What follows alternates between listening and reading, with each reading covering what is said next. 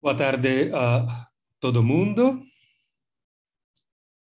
Ah, bom, estou vendo que pouco a pouco está, eh, está aumentando o número dos participantes. E gostaria de saber uh, se o formato de ontem uh, está satisfatório. Você, você tem algumas perguntas respeito à aula passada? Em quatro, antes de começar, vamos um pouco ver. Uhum. Boa tarde a todos. Bruno, Pedro Correa, tá. Matheus Miranda.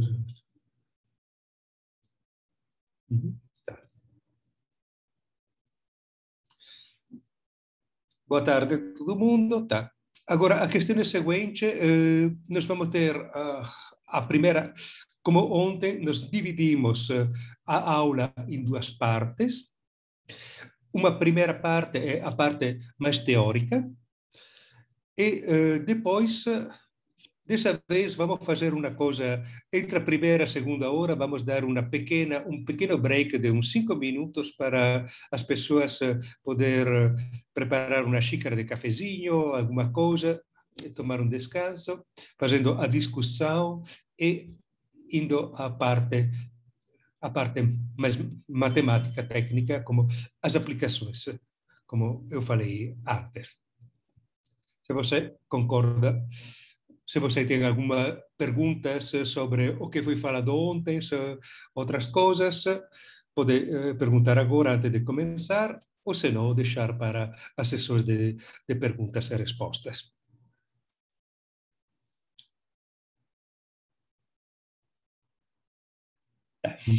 Tá certo.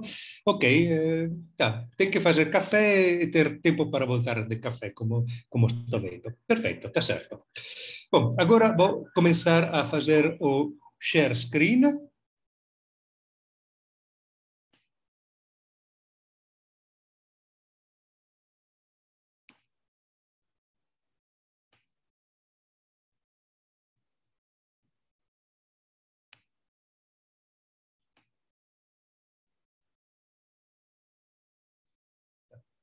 Todo mundo está. Bom, eu tenho aqui do lado um tablet que me confirma que uh, a tela foi uh, compartilhada.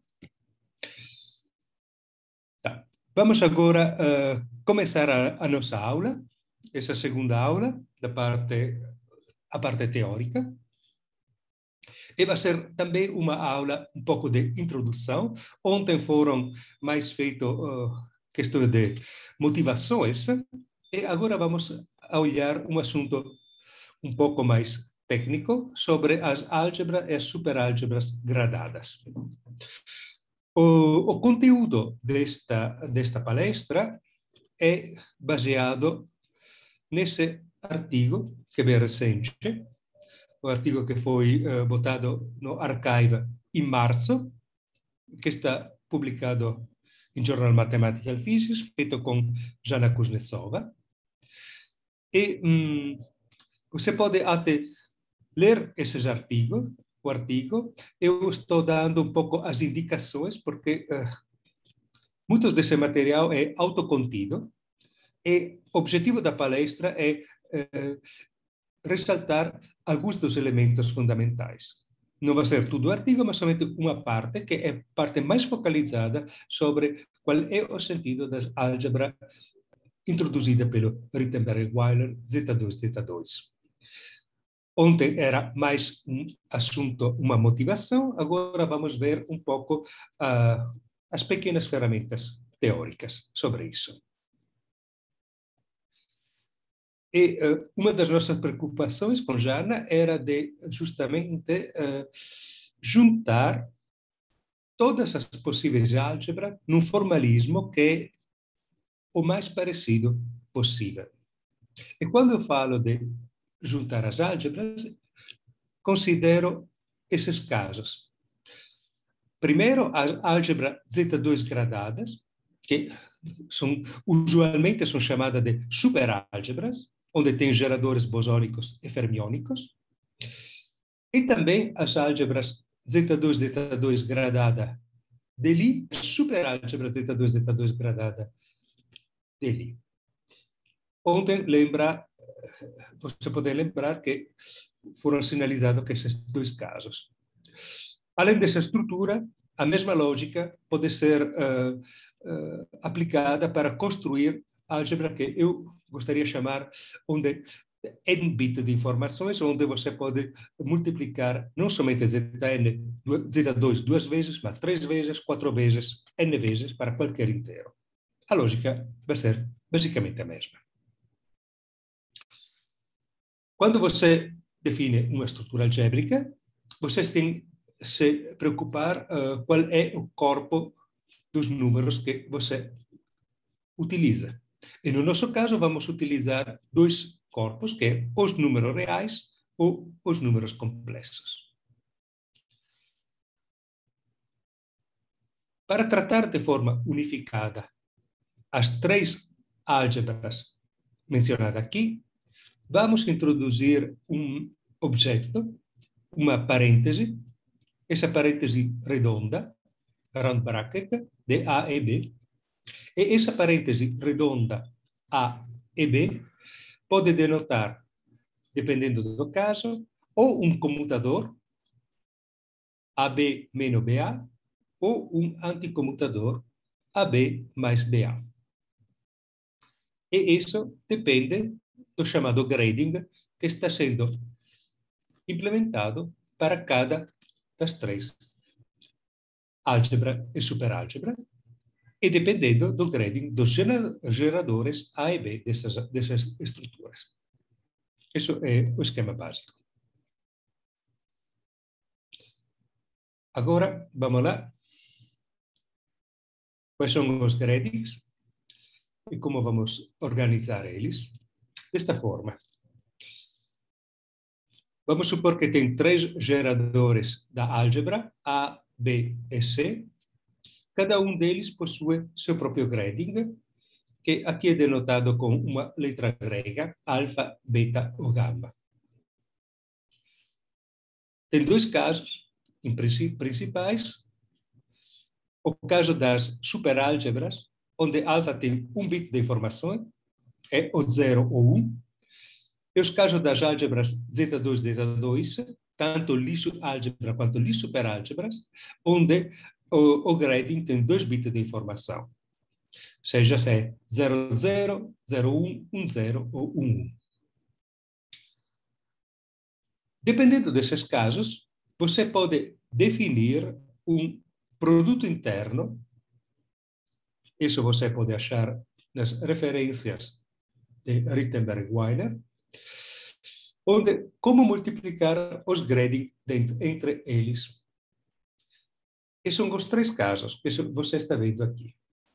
Primeiro caso, para álgebra Z2, alfa vezes beta é simplesmente o número 0 ou 1, com as regras da multiplicação usuais. 0 por 0 dá 0, 0 por 1 dá 0, 1 por 0 dá ainda 0, 1 por 1 dá 1. Os outros dois casos são os casos onde você introduz esses dois gradings. Ontem foi feita uma pergunta, eh, será que tem outras possibilidades, outras escolhas? Hum, até feito se tem um 0,8 em lugar de mais um ou de menos um, essas coisas.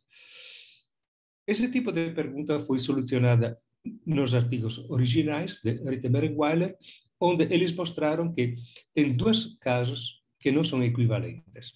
Eu não vou refazer a demonstração. Assume isso como dado. Nós vamos fazer, abrir algumas contas e ver o que acontece nos vários casos. As duas escolhas são essa. Nesse caso, que é o caso 3, você está vendo tem uma esse produto é simétrico porque você tem alfa e beta, que você pode considerar como dois vetores, e você multiplica ele, cada elemento deles, o primeiro elemento do primeiro vetor e do segundo vetor, e depois o segundo elemento do primeiro vetor e do segundo vetor. Alfa 1, beta 1, mais alfa 2, beta 2. Claro, isso é um número. que pode ser tanto 0 ou 1. Por quê? Porque lembra, sempre nós estamos considerando uma aritmética modular, módulo 2. Ou seja, todos esses resultados são soma 1 mais 1 dá 0, módulo 2. O caso 3 utiliza esse tipo de produto interno. Se você pega o caso 2, você está vendo que esse produto interno não é simétrico, mas é antissimétrico, porque tem um sinal menos. Você troca alfa e beta, você tem menos beta alfa. Também tem a mesma propriedade. Agora, ontem eu já uh, mencionei os dois casos que, quando você aplica, num caso você vai ter os paraférbios, no outro caso você tem os parabosos, são ligados a esses dois tipos de escolha de produto interno. Como mencionei também ontem, a maioria dos trabalhos, as aplicações na física, se focaliza no terceiro caso. E em muitos trabalhos até não mesmo menciona que tem o segundo caso. Mas esse segundo caso se encontra nos artigos originais e nos alguns artigos de matemática e também em poucas aplicações. E como falei, todas as somas são módulo 2.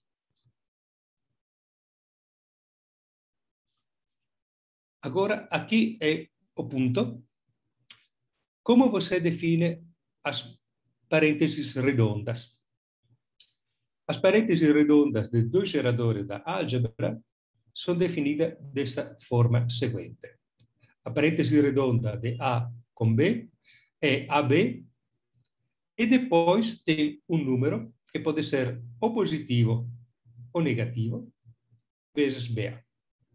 Esse número esse sinal depende da escolha do produto interno. Isso significa que parêntese redonda é, como eu falei antes, é ou um comutador ou um anticomutador. E se você troca A com B, você pode perceber em quais casos essa parêntese redonda dá, é simétrica, em quais casos é antissimétrica. Conta muito simples, o sinal que está na frente é dado da esse, esse produto aqui. Menos 1 vezes alfa, beta, mais 1. Desse jeito, você considera os três casos da mesma forma. Tem algumas questões? Sim, o Caio hum. tem uma. Eu vou, eu posso pedir para ele, pra ele, sim, pra ele falar? Vamos uh, com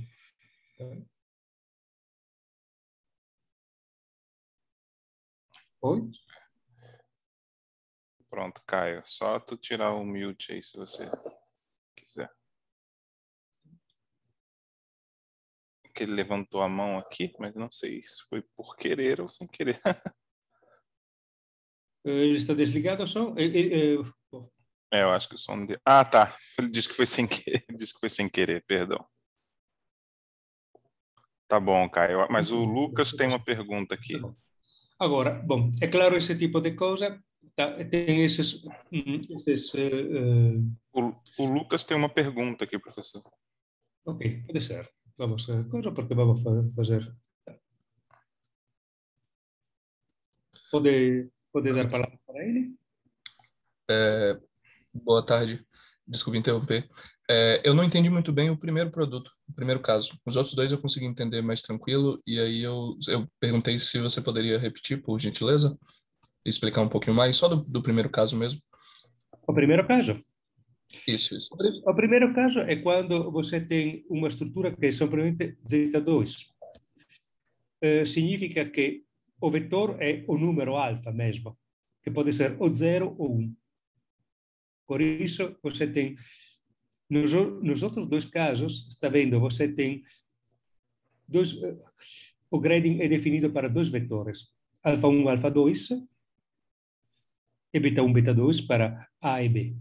Enquanto no primeiro caso, o grading é simplesmente 0 ou 1, simplesmente um número. E por isso você tem esse tipo de produto. Respondi a pergunta?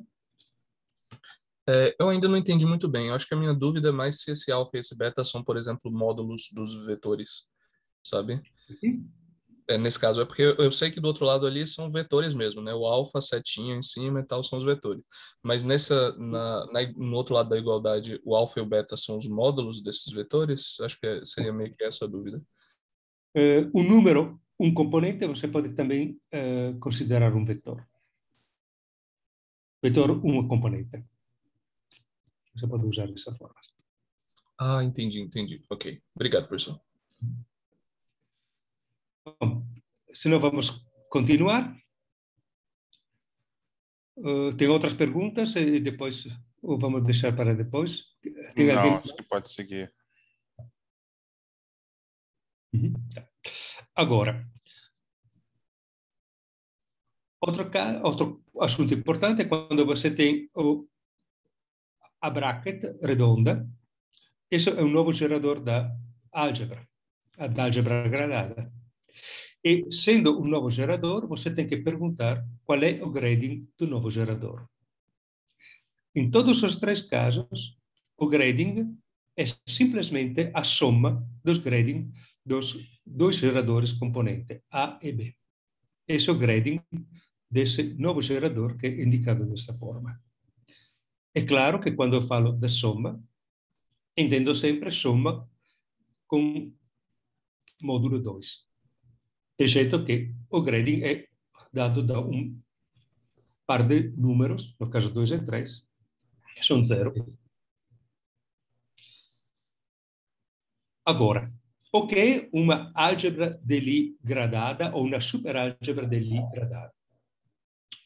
Essa é um conjunto de elementos que tem essa propriedade, essa operação, essa parêntese redonda, que multiplica, que atua em dois elementos da álgebra e produz um terceiro elemento da álgebra, como você está vendo aqui.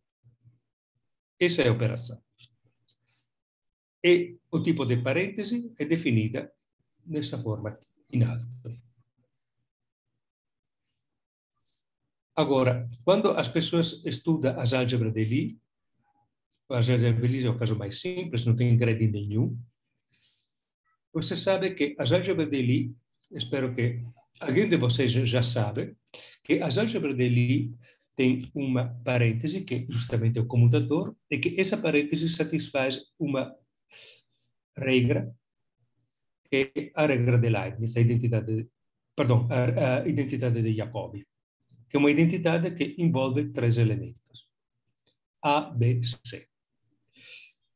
Se você tem estrutura gradada, você tem o mesmo tipo de identidade de Jacobi, com três elementos, somente que a identidade de Jacobi tem algumas trocas de sinais. E as trocas de sinais são justamente dadas pelos tipos de, perdão, pelos tipos de, de grading que você utiliza. Tem que voltar atrás. Tá. Agora, essa é a identidade de Jacobi gradada que é satisfeita para essas três estruturas algébricas, A1, A2, A3. São três elementos, você tem a soma desses, desses, desses brackets, dessas parênteses redondas dos três elementos, mas tem também alguns sinal mais ou menos na frente de cada um delas, e esse sinal é ligado a esse tipo de sinal. Para cada caso, são três casos, você tem seu próprio sinal. E todo esse conjunto de soma feito nesse, desse tipo é zero. Isso dá a estrutura de álgebra de Lie ou superálgebra de Lie gradada, nos três casos.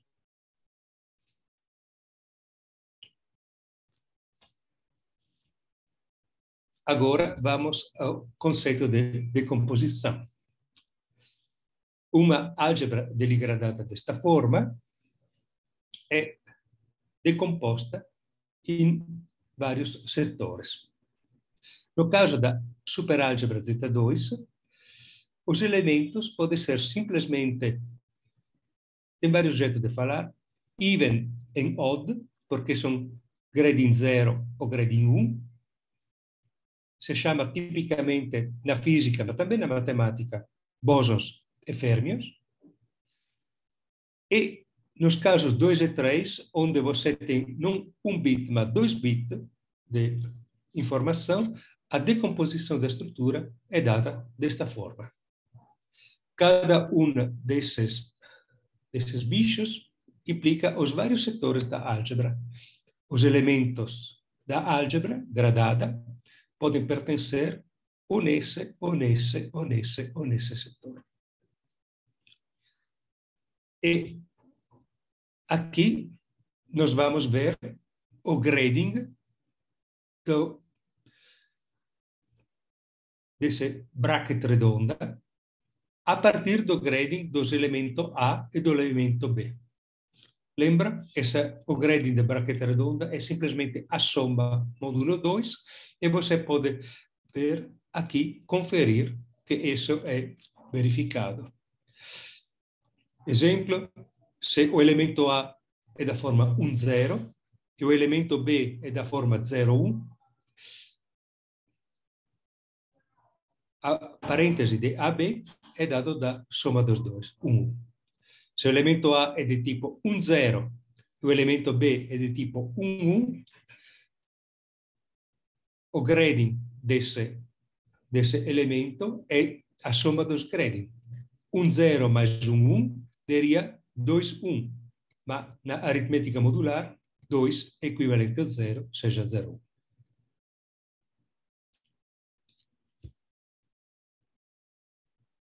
Aqui eu não preciso ir muitos nos detalhes, porque essas são exatamente as fórmulas que nós encontramos ontem.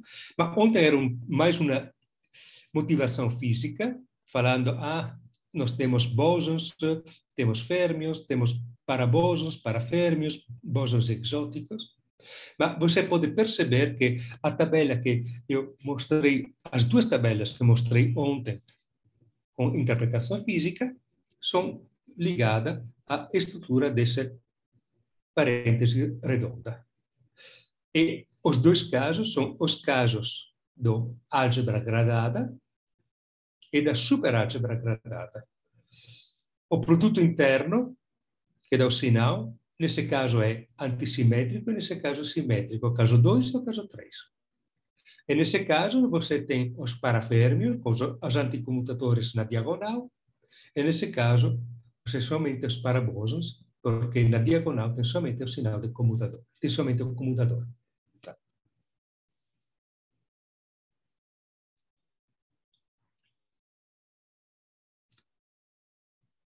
Tem um pequeno comentário a ser feito sobre essa estrutura, que é importante para vários tipos de consideração, de considerações. E se você olha esta tabela, você pode perceber várias algumas coisas que são até chamativas. Vamos ver. Considera, por exemplo, essa tabela aqui, que é sobre a álgebra de Lie gradada Z2, Z2. Aqui nós temos três setores. Tem o setor 00, que é o setor usual, onde você acomoda os bosons da teoria. E tem os outros três setores, mas você pode trocar os três setores e nada acontece. Porque uh, todos eles comutam com ele mesmo, e você está vendo, se você quer o anticomutator do setor 1 com 01 é aqui, anticomutator do setor 10 com 1 está aqui, e assim por adiante. Ou seja, você pode permutar esses três setores e você tem exatamente o mesmo tipo de estrutura. Isso significa, em inglês se fala, all these three sectors are on equal footing. Estão em pé igual. Você não distingue um dos outros. Già no caso da superálgebra, è un poco diferente, perché o setor 00, onde você joga os bolsos da teoria, está vendo? Tem todos os comutadores, è un setor particular. Ma o setor 1-1 também é particular. Por quê? Porque 1-1 com ele mesmo dá comutadores. Enquanto 1-0 con ele mesmo e 01 con 01 da anticomutadores. O jogo de permutar setores você pode fazer também nesse caso, mas quando você faz esse jogo nesse caso, você tem que tomar em conta que o setor 00 está bem definido, o setor 1 está bem definido, e o máximo que você pode, a escolha que você pode ter é de chamar o setor 1001 10 01 e 0110, tanto faz. Essa é uma permutação S2, de dois elementos, enquanto aqui as permutações são de três elementos.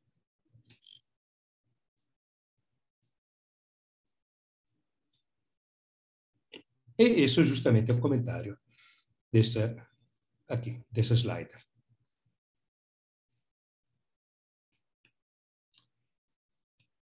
Tem alguma pergunta até agora?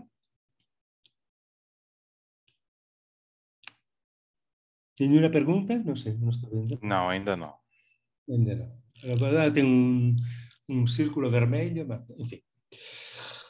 Agora, quando você tem álgebra, você tem também se preocupar das representações das álgebras. Porque, em geral, bom, na física, a gente justamente considera simetrias, operadores de simetria, que eles atuam em um espaço. Para as considerações físicas, o espaço é o espaço de Hilbert, e você tem que é um espaço de tipo vetorial. Aqui a mesma coisa, um conceito um pouco mais geral, e você tem que perguntar que tipo de espaço vetorial. Você tem o grading da álgebra, mas esse grading da álgebra tem que ter também uma realização nos espaços vetoriais, que também tem que ser gradado e o grading dos espaços vetoriais tem que ter o mesmo tipo de estrutura da álgebra. E isso significa que o espaço vetorial tem seu próprio grading e que não somente tem seu próprio grading, mas que o grading do espaço vetorial é compatível com o grading da álgebra. Como isso acontece? Desta forma. Os vetores são uh, dado de um grading. No caso 1 para z2, também o grading é 0,1. Vamos chamar even odd, boson fermions. E no caso das representações das álgebras z2 e z2 gradada, esse grading é dado pelo 2 bits de informações. Assim. Esses são os grading do espaço vetorial, não dos elementos das álgebras. Elemento do espaço vetorial vamos chamar com V, elemento da álgebra vamos chamar com A. O requerimento de compatibilidade é o seguinte, que quando você atua numa representação e você escreve um outro vetor do espaço de representações representando o elemento da álgebra com um chapeuzinho, que significa que esse elemento da álgebra é uma representação nesse espaço vetorial da estrutura algébrica, esse novo gerador tem que ser, tem que ter um grading que é compatível com o grading tanto do espaço vetorial quanto do elemento da álgebra. E como é feito? Simplesmente o grading desse é a soma dos dois grading. Soma, evidentemente, módulos 2.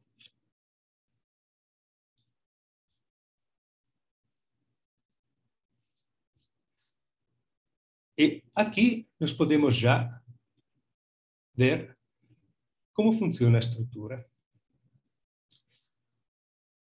É evidente que se você quer uma estrutura onde todos os setores são preenchidos, ou seja, não tem setores vazios, nosso espaço vetorial, para o caso de θ2 e θ2, tem que ter no mínimo dois elementos. Um elemento bosônico e outro elemento fermiônico.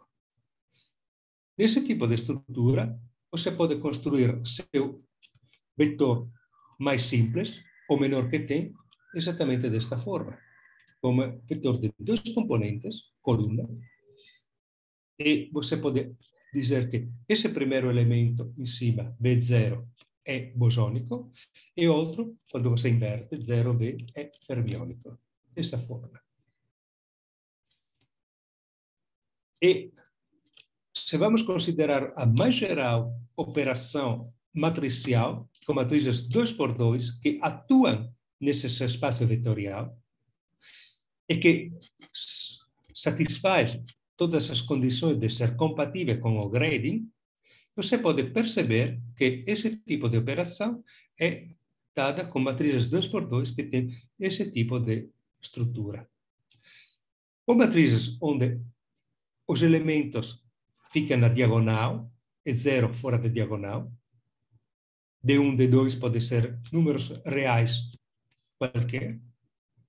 É uma matriz de tipo bosônica, de tipo zero. Ou, ao contrário, matrizes que estão na antidiagonal. Os elementos da diagonal são zero e ficam na antidiagonal.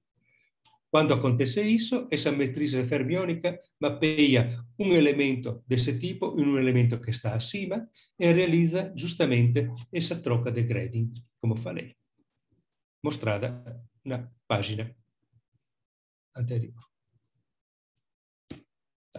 Esse é o tipo de estrutura que depois vai ser generalizada. Esse tipo de estrutura funciona para qualquer superálgebra, as mais complicadas, tem, não são de tipo 2-2, são de tipo mais complicado ainda, mas a ideia básica é sempre a mesma. E é sempre a mesma também para os espaços θ2, θ2. Tem um, opera, tem um operador, que é este, em geral se chama operador de paridade fermiônica, e esse operador fala se quando praticamente você pode construir um projetor que fala que seu projetor é 0 ou 1, um, os, autoval os autovalores desse elemento bichinhos π meno, escrito matrizes de identidade meno operadore NF, se o autovalor é zero, significa que o vettore è, è vettore bosonico, se o autovalor, autovalor é 1, um, significa que você está aplicando ele num vetor fermiônico. Bom, você se acostuma com essa coisa, você joga um, brinca um pouco, são coisas bem simples. Opa. O que está acontecendo? Um momento.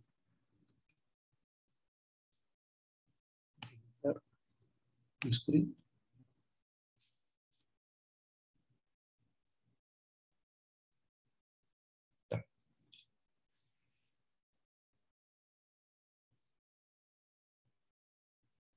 Uh, tá. Tem perguntas até agora? Está tudo claro para todo mundo? Tem pessoa que está seguindo ou não? É, por enquanto, nenhuma pergunta, não, professor. Tá. Eu vou continuar. Agora, vamos considerar os casos Z2, Z2. Os casos Z2, Z2, eles pretendem que você tem que quatro setores. Vamos fazer o caso mais simples possível. Vamos pedir que cada setor seja realizado para um vetor, e somente um vetor, que não tenha setores vazios. Se são quatro setores, é evidente que os vetores coluna têm que ter quatro componentes. E os vetores coluna que têm quatro componentes pode ser descrito aqui embaixo. Vetore de tipo 00, de tipo 11, de tipo 10 ou de tipo 01. E como são as matrizes que atuam nesses vetores e respeita os gradings.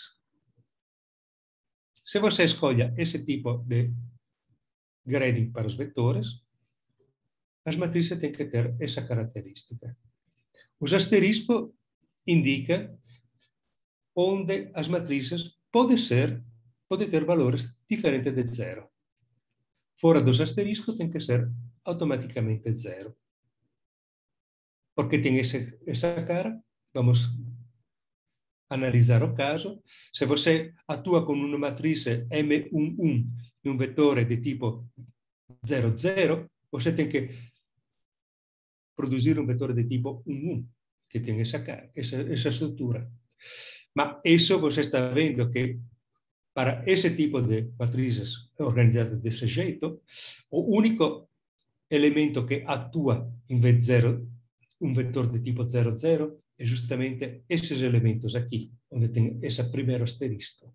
Mas quando você atua com esses elementos em um vetor desse tipo, você tem esse tipo de estrutura. Claro. Você se familiariza com essa estrutura e depois podemos ir um pouco mais adiante.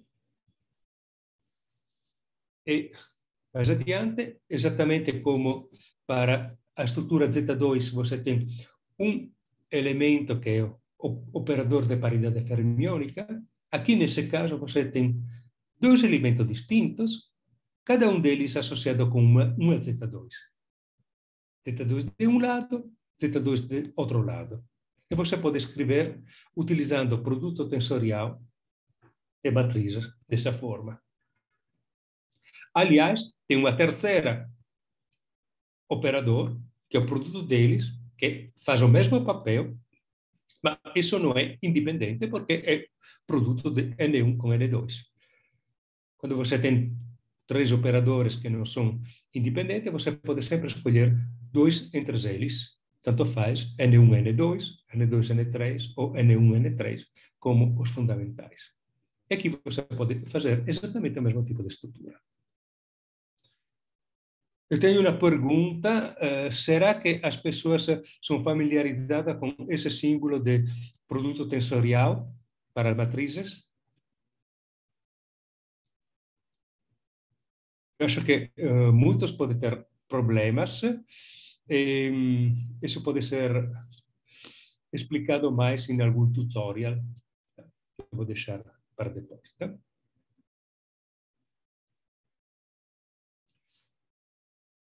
Agora, vamos lá a considerar, uma vez feito isso, a analisar o tipo de estrutura algébrica que nós temos. Ontem foi perguntado para mim uh, o que acontece se nós vamos classificar as estruturas.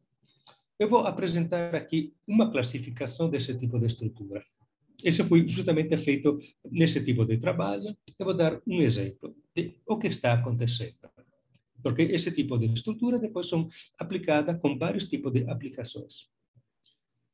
Primeiro, eu quero ilustrar o caso mais simples. E o caso mais simples é a estrutura Z2, que é muito fácil. Porque a estrutura Z2 é dada para matrizes 2 por 2, simplesmente. E eu vou pedir que tem somente dois operadores um deles H, que fica no setor bosônico, e outro Q, que fica no setor fermiônico. Em termos de matrizes, se você quer representar de matrizes, esse operador fica uma matriz diagonal e esse operador uma matriz 2 por 2 na antidiagonal. Quais são, nesse caso, as as brackets, as parênteses mais geral que você pode construir, respeitando o grading. Agora, se H é no setor zero, H com ele mesmo é um comutador. Um comutador com ele mesmo é zero. Quando você tem H com Q, 0 com 1, a regrinha do sinal que eu mostrei antes fala que você tem que ter um comutador. Qual é o comutador mais geral que respeita o grading? O comutador de H com Q tem que ser algo que é proporcional ao Q. A hipótese que nós consideramos somente álgebra mínima, que tem somente dois elementos, um H e um Q. Se você quer ter o Q com ele mesmo, um com um, o sinal, no caso de θ2, fala que você tem que ter um anticomutador. Isso significa que você tem aqui operação do anticomutador. Que com que, mais que com que. E, para respeitar o grading, esse tem que ser proporcional ao que? Ao único elemento zero da teoria, que é o H. Essa é a álgebra mais geral que você pode construir. Mas lembra que eu falei que tem algo que são as identidade de Jacobi gradada. Posso até voltar atrás, no caso.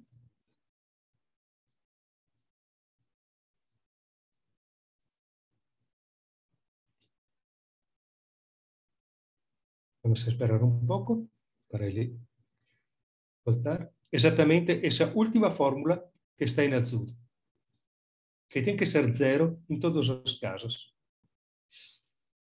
Isso implica algumas condições.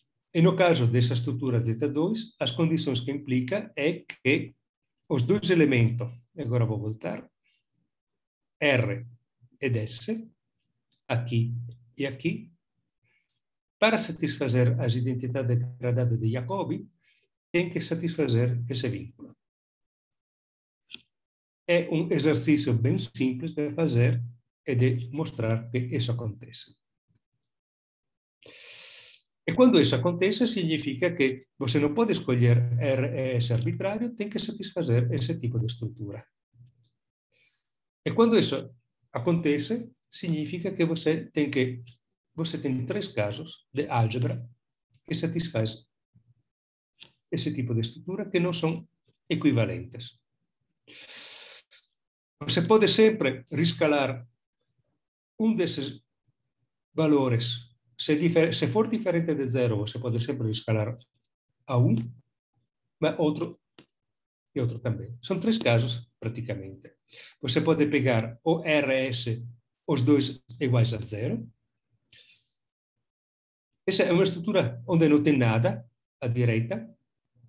E esse tipo de estrutura se chama estrutura abeliana. No caso de álgebra de Lie, se chama álgebra abeliana. Aqui é um caso um pouco diferente, porque não tem simplesmente comutadores, tem anticomutadores, e você pode chamar esse tipo de estrutura de álgebra de Lie gradada abeliana, credit abelian álgebra. Mas tem também o caso onde você pode escolher S diferente de zero e R igual a zero ou o contrário. So, tem três casos. E essas são as três estruturas algébricas Z2 que você pode construir em cima desse tipo de estrutura. Essa estrutura aqui é, como eu já falei, uma álgebra abeliana, gradada, porque não são comutadores, aqui tem anticomutadores. E você está vendo que a parte direita tem somente zero. Essa estrutura desse tipo é utilizada nas aplicações físicas para construir o chamado superespaço. Superespaço da teoria supersimétrica é escrita a partir da estrutura desse tipo. Isso é o exemplo mais simples que pode ser generalizado. Aliás, se alguém está interessado, no próprio trabalho que eu mencionei com a Jana, tem as aplicações de superespaço, eu não tenho tempo aqui para mostrar esse tipo de aplicações. A segunda estrutura, onde você tem o comutador de H com Q zero e o anticomutador do Q com Q produz o próprio H, essa estrutura é muito importante, porque essa estrutura fala uma coisa, que tem alguns geradores, os Q, que são as raízes quadradas do H. O que é essa estrutura? Essa é básica da mecânica quântica supersimétrica. Nas aplicações da supersimetria, você pode chamar H como um hamiltoniano e a supersimetria requer que tem operadores que são os raízes quadradas do Hamiltoniano. O Hamiltoniano commuta com eles. Esse é o caso mais simples de mecânica quântica supersimétrica. Se você faz todas as várias extensões, incluindo as teorias de super Poincaré, são baseadas sobre esse tipo de coisas. Em lugar de ter um único Hamiltoniano, você vai ter os geradores de Poincaré. Mas a ideia é exatamente a mesma. Os geradores da supersimetria são as raízes quadradas das translações. A estrutura matemática é parecida. Tem um terceiro caso, que também tem um interesse, onde tem um operador H que é aplicado Q dá um Q, Ma o proprio che è un operador che in matematica si chiama nilpotente, che quadrato è uguale a zero. Quando tem um operador que é nilpotente, que é quadrado igual a zero, você pode definir uma chamada cohomologia. Eu não vou entrar nos detalhes, mas esse tipo de estrutura é muito importante porque define as teorias topológicas. Um jeito de construir teorias topológicas é através desse tipo de estrutura. E não entro em detalhes de aplicações, mas os três exemplos são os três exemplos básicos que, uma vez que você entende isso, nesse modelinho brincadeira, você pode atuar e ampliar para todos os outros casos de interesse. Pergunta sobre esse, esse, esse, o que foi feito, falado até agora? Sim, o Júlio tem uma pergunta aqui. Por favor, deixa ele então. Oi, uh, tá me ouvindo? Eu estou ouvindo, sim. No slide anterior, se não me engano, uh, qual conta você fez para aparecer o R e o S quando você diz que o, a forma mais geral que tem para comutador e anticomutador vai ser aquela? Uh, acho que no uhum. slide anterior. A questão é simples. Eu estou pedindo uma estrutura que contém somente dois elementos, um H e um Q, e que os elementos são o H no setor 0 e o Q no setor 1 da teoria. E eu vou pedir que respeite a estrutura do grading, do Z2. Respeitar a estrutura do grading significa que H com Q tem que ser um comutador e o Q com Q tem que ser um anticomutador. Essas são as únicas duas operações que você tem. E, para respeitar o grading, o que fica à direita tem que ser um Q, nesse caso, do comutador de H com Q, e o que fica à direita do anticomutador do Q com Q, para respeitar o grading, tem que ser um H. O que são RS são os fatores de proporcionalidades. Pode ser tanto números reais quanto números complexos. Os mais reais possíveis, por enquanto. Uma então, essa você... imposição... Desculpa, perdão. Pode continuar? É, é, o fato de ter que ser um Q vem dele estar no setor de G1, então. O fato de ser um Q é a assunção que é satisfaz uma superálgebra gradada de zeta 2. Ok. Com dois elementos. Certo. Outro ponto é que você tem que implementar depois o vínculo que deriva da identidade de Jacobi gradada. Esse vínculo implica que R e S não podem ser independentes. É uma conta a ser feita, não vou mostrar aqui, mas é fácil de verificar. Aqui tem as dicas de como fazer essas contas. E você tem que você verifica que o produto deles tem que ser zero. Uma vez que você verifica isso, é claro que você pode fazer um rescale de alguns operadores, renormalizar ele para reabsorver o coeficiente que está na frente, do jeito que seja um número, que pode ser ou simplesmente um ou zero. Se você faz isso, é aqui que você chega. Nos três casos. Essa é a escolha. Posso, evidentemente, em lugar de 2, botar 24, eh, qualquer coisa, mas tá. essa é a escolha mais natural. E aqui também. Ok? Ok, obrigado. E, bom, aqui vamos lá. Isso são os resultados, eu não vou entrar nos detalhes, mas isso, uh, alguém pediu classificações, essas são a classificação. Isso, justamente, nós, com Jana, analisamos os casos mais geral de álgebra de Lie mínima, com quatro geradores, um, dois, três e quatro, nos quatro setores, ele, como a álgebra se decompõe, a ideia é a mesma.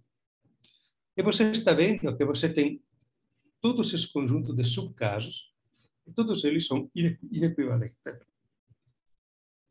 Você faz, você joga os elementos mais gerais, se impõe a identidade de Jacobi, e depois você vai a solucionar cada um desses casos, e para cada caso você vai ver quais são deles, são não equivalentes, porque você pode rescalar os geradores. E chega nesse tipo de tabela aqui. Um dos casos é uma tabela A7, onde tem somente zero, que significa isso? É o caso graded abelian para álgebra de Lie. Z2, Z2. É o caso onde você tem os parabólicos, vamos dizer. E tem todos os conteúdos do caso aqui. Em alguns casos, tem alguns parâmetros reais, como x, que aparece, ou y e z, que entra em jogo. Isso para o caso 2, das, vamos chamar de, de z2, z2 como parabólicas. Se vamos fazer a mesma coisa, tá, aqui é, com as superálgebras, nós vamos ter, acho que aqui é um erro, tem que ter superálgebra, não, não álgebras, porque esse é o caso da superálgebra, o caso número 3. E você tem esse tipo de estrutura aqui. Você tem 21 casos, é muito mais complicado. E alguns desses casos têm um nome porque são identificados na literatura como tipo de tipo de tipo de tipo de estrutura. Por exemplo, esse caso uh, S10 é, é, o caso de, de superálgebra de Poincaré, perdão, Z2, Z2, extensão da álgebra de Poincaré e uma dimensão. Tem um caso S1, que é o caso Credit Abelian para paraférnios, e assim por adiante. Todas elas têm alguma identificação e pode ter algum tipo de algum tipo de aplicação. São essa é a classificação de todas as possíveis álgebras que pode atuar como simetrias, em teoria, muito simples, onde tem partículas de Z2, de Z2 gradada, com somente quatro elementos. Vou dar um exemplo de representações mínimas, que isso é interessante, porque essa é.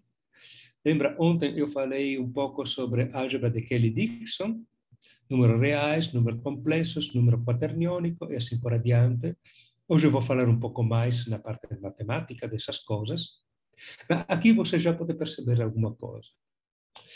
Essas matrizes são matrizes 4x4, nos números reais, essas são a representação, são todas equivalentes nesse caso. Você pode escolher essa representação, pode escolher uma outra. Ontem foi feita uma pergunta. Os quaternios são todos equivalentes, as representações que você pode dar. Essas são as representações dos quaternios. Você tem um elemento que é identidade, por isso tem esse, fator, esse 1 um na diagonal. E depois você tem os chamados três quaternios imaginários, e satisfaz a álgebra dos quaternios. O quadrado dele é menos identidade, e um quadrado dá para perceber porque tem o sinal é menos e zero, é a mesma coisa para E2 e 3. Esse tipo de estrutura, se você lembra de composição das matrizes, tem uma estrutura gradada natural que é Z2, Z2. Tanto os quaternios quanto esse bicho aqui, que são a versão split, Lembra que ontem nós falamos sobre division algebra e até nós mostramos um caso onde não tem split uh, ou não tem division algebra para o split complex. O split quaterno é uma estrutura um pouco desse tipo. Ele também tem estrutura Z2, Z2.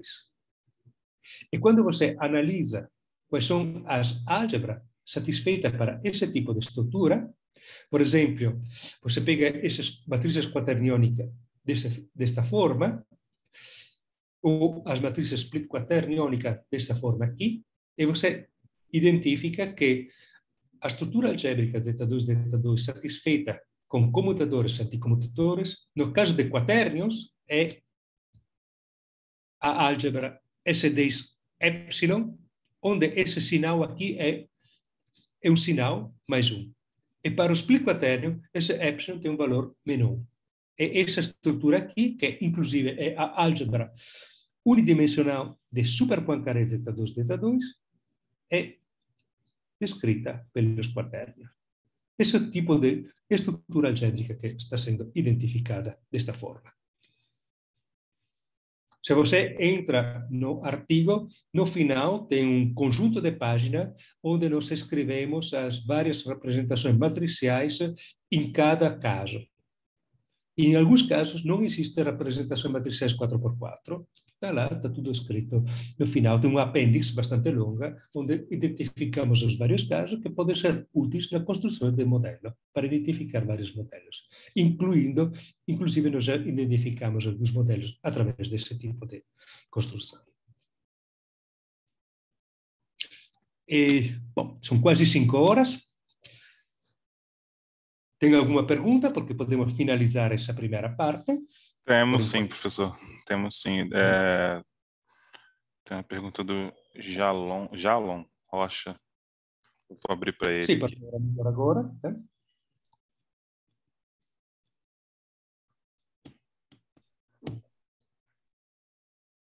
Oi, Pode falar?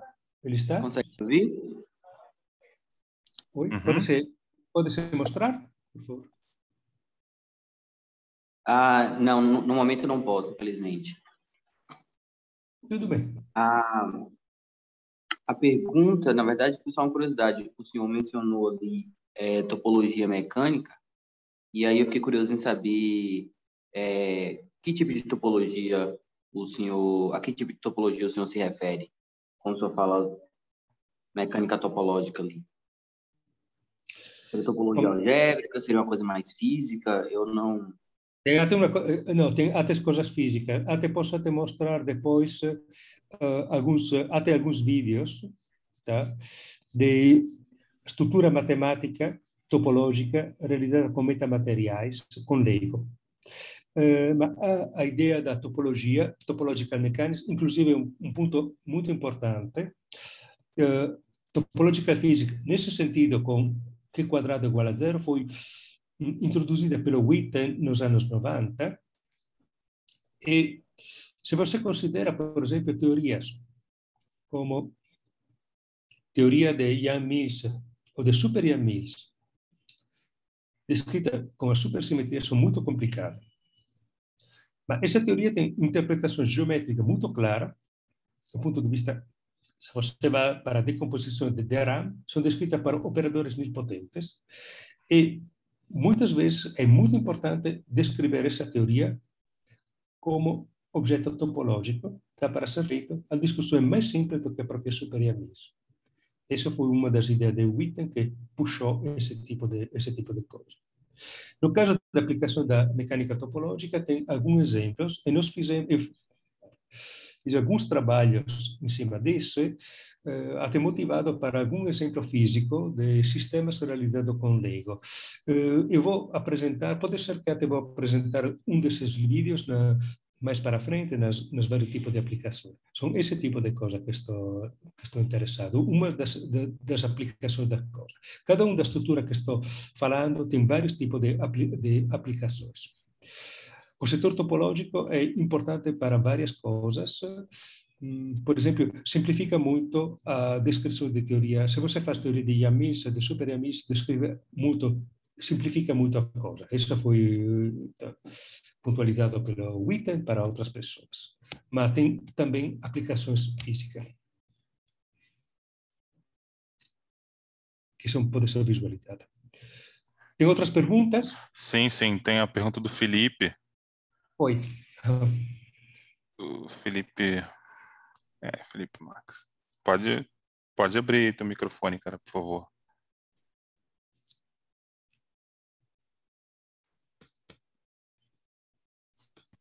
Alô, vocês estão me ouvindo?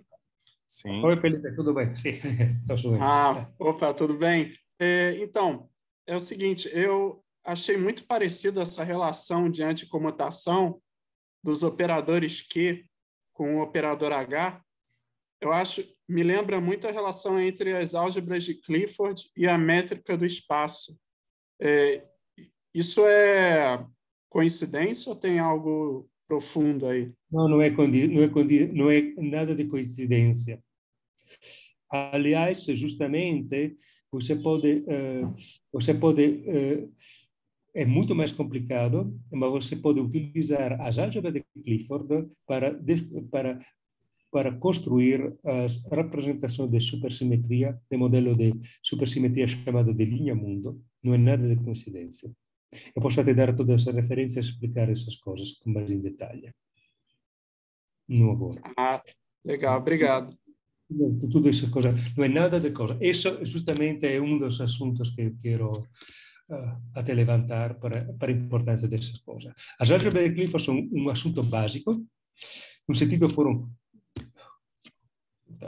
em 1964 a Tia Bot Shapiro construir uma classificação, mas tem muitas coisas a, a, ser feitas acima dele, e uma das coisas foram justamente essas aplicações. Vou dar esse tipo de, resposta mais no futuro. É uma boa pergunta. Tá. Tá, então, tem aqui a pergunta do... Bom, o Ellison levantou a mão, vamos ver se ele... Uhum. Estão me ouvindo? Uhum, sim. sim. É, a minha pergunta seria no sentido da, de uma possível representação dessa superálgebra zeta 2 zeta 2 graduada. Uhum. Porque uh, seria possível ser. Bom, um caso usual de supersimetria, né? A gente tem um grupo de Poincaré com geradores dos, é, das, dos boosts e rotações e do momento que são considerados os operadores bosônicos e é introduzidos operadores fermiônicos e a, a álgebra é construída para fechar dessa maneira, né? Assim nasceu a supersimetria.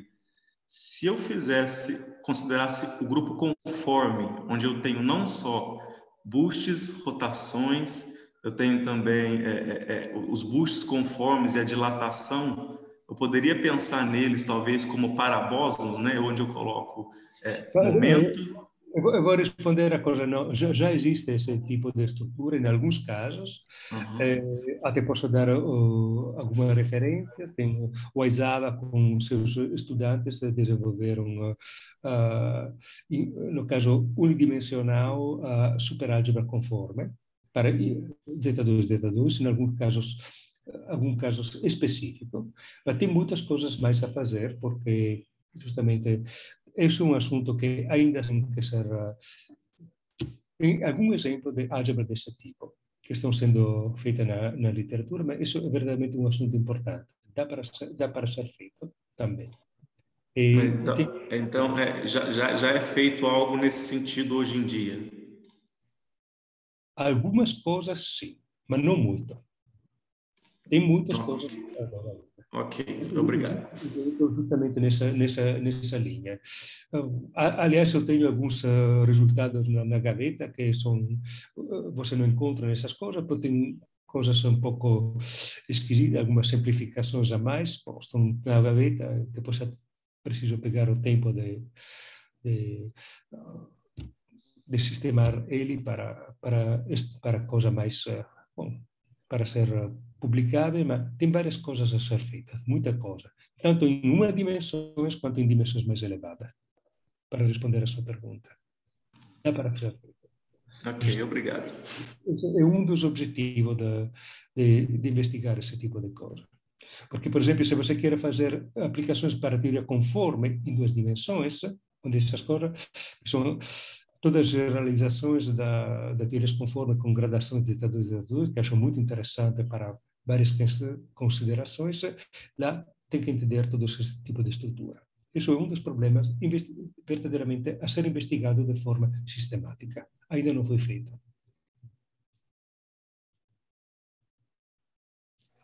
Uh, okay. tá.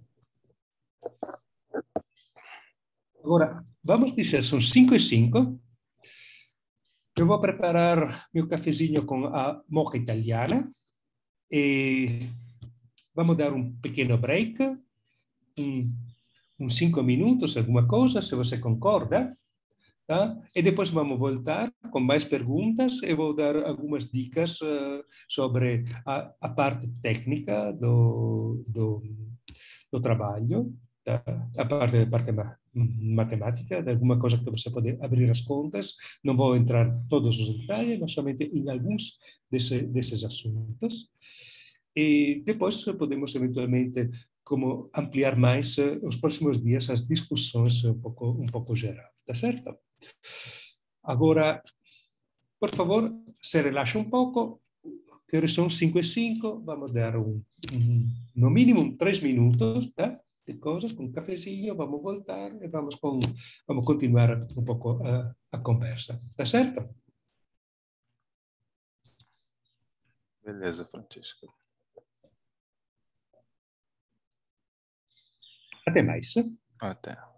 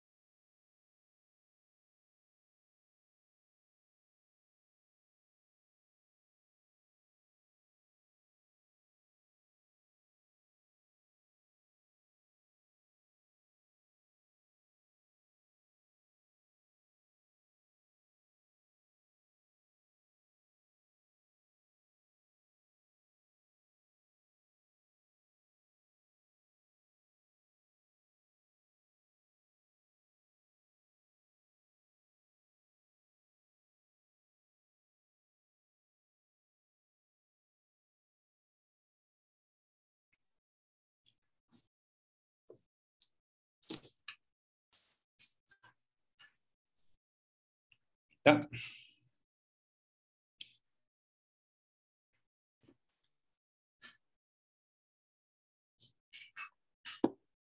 Tem alguma tem algumas mensagens? Ah, não, não, não tem. Tá. Bom, podemos eventualmente. Bom, eu já preparo meu café, tá? estou pronto para continuar a apresentação. Gostaria de saber se tem outras questões em outras perguntas.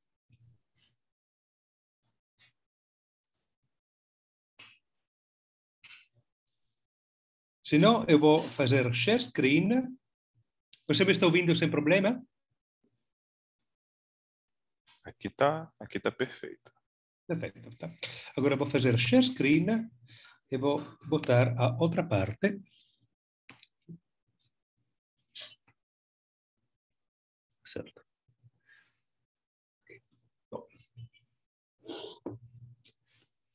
Tá certo. Bom, como eu full screen. Ok. Bom. Como eu falei, eh, o objetivo da, das aulas é dar informações, fazer um pouco um resumo do estado da arte sobre esse, esse tipo de teoria, mas, além disso, dar também algumas dicas de algumas estruturas matemáticas que são utilizadas e minha sugestão justamente é vocês conseguir abrir as contas. Todo o material se encontra na pasta de Dropbox com o endereço que eu dei para você. Você pode olhar ele e, com calma, fazer abrir essas contas. O meu, uh, o meu objetivo agora não é entrar nesses material, porque lá tem algumas dicas, inclusive tem referências bibliográficas, mas meu objetivo é de salientar alguns pontos que podem ser utilizados nos trabalhos. E uh, justamente esses pontos podem ser utilizados para solucionar o tipo de perguntas que foram mostrada e que vamos mostrar nos próximos, nos próximos dias. Não vou aplicar esse tipo de coisa, mas simplesmente salientar quais são as estruturas que podem ser utilizadas. Ok? É uma estrutura que eu gosto muito. Justamente eu falei bastante sobre a álgebra de Clifford e tinha também a pergunta do Felipe que depois eu acho que vou até explicar um pouco mais por que álgebras de Clifford são importantes nas construções de modelo de supersimetria. Mas tem uma aplicação geral. E no assunto das álgebras de Clifford, eu desenvolvi um método que parece um pouco uma brincadeira, que é... Vou entrar aqui. O método é justamente este aqui este método aqui. Apesar de ser um trabalho feito junto com...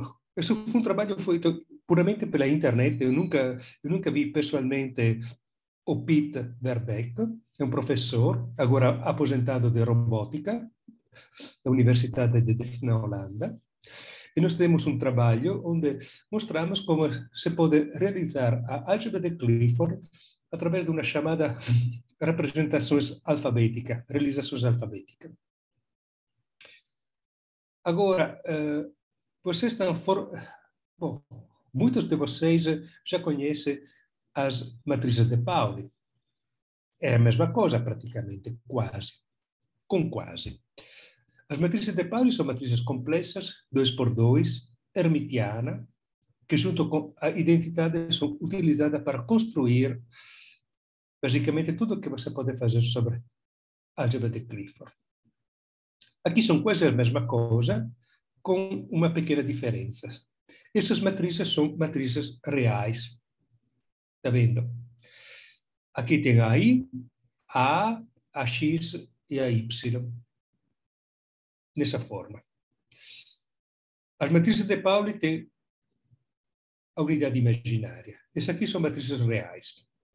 Ontem já falei que essas matrizes reais são uma re realização dos split quaternios, não respeito ao grading dos split quaternios que nós vimos na transparência anterior, um pouco uh, feita pouco antes, mas toda essa álgebra do split quaternio é, é representada, realizada para essas matrizes de 2.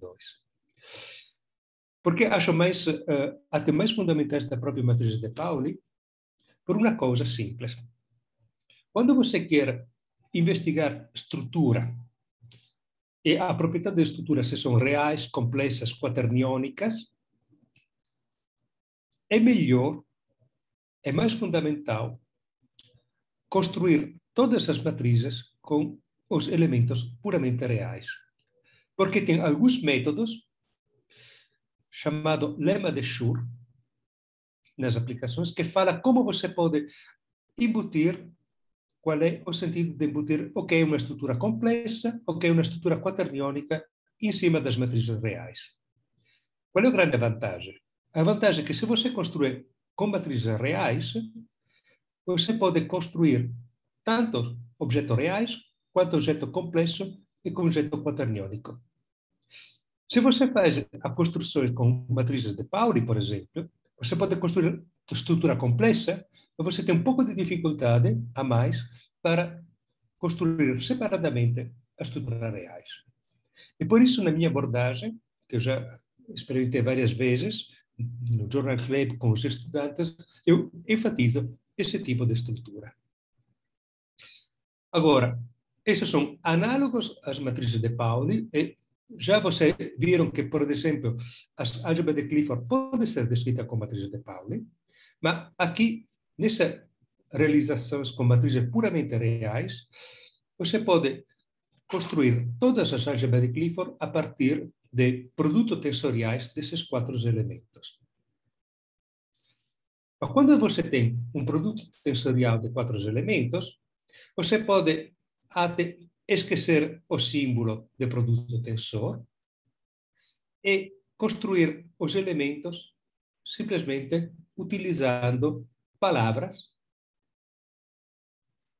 e um alfabeto que tem quatro letras, I, A, X e Y. Nós vimos antes os, as matrizes quaterniônicas. As matrizes quaterniônicas, depois vou a demonstrar, foi feita inclusive uma pergunta ontem, as três quaternios imaginários são uma realização da álgebra de Clifford 03 e são matrizes 4x4 não reais. Eles são realizadas de forma simples, como produtos tensoriais dessas quatro matrizes aqui. Uma escolha possível é esta. Aqui você deveria botar entre o símbolo de produto tensorial, mas se você não faz isso, tudo bem. Você descreve os quatro quaternios com quatro palavras de duas letras cada palavra escrita nesse alfabeto de quatro caracteres. Qual é uma da vantagem? A vantagem é que é muito fácil de utilizar. Porque você pode perceber, por exemplo, que das quatro matrizes fundamentais, uma delas, A, é antissimétrica. Por isso que é chamado A. Escolhi esse número. Está vendo? Você faz a transposição dela até um sinal, A transposto é menos A. Enquanto I, X e Y são simétricas. Primeira dica. Segunda dica, A e Y são matrizes bloco antidiagonal, enquanto I e X são matrizes bloco diagonais. Está vendo? A. Perdão, aqui tem um erro, deveria ser Y e X, ao contrário, desculpe, vou corrigir essa parte. Essa matriz, essa matriz são antidiagonal. Se você quer representar ela na estrutura zeta 2 gradada, esse é um elemento fermiônico. Enquanto essas matrizes I essa matriz aqui são bloco diagonal, e se você quer representar na estrutura zeta 2 gradada, são elemento bosônico. Você está já percebendo as ligações desse tipo de estrutura e porque, utilizando esse tipo de informação, você pode construir alguma coisa a partir delas. E solucionar vários tipos de construções de modelo, Z2, Z2, Z2, e todas as questões ligadas com as álgebras de Clifford. E aqui são as coisas. Você quer escrever uma, matriz mais geral, antissimétrica, utilizando esse formalismo alfabético, como você faz, simplesmente você tem que contar quantas as palavras que têm um número par ou ímpar de matrizes A. Você quer uma matriz que seja bloco antidiagonal ou bloco diagonal? A primeira letra da cada palavra tem que ser I ou X ou AY. Isso é o jogo que se está sendo feito. É um jogo muito simples a fazer. E por isso é muito útil de ser feito.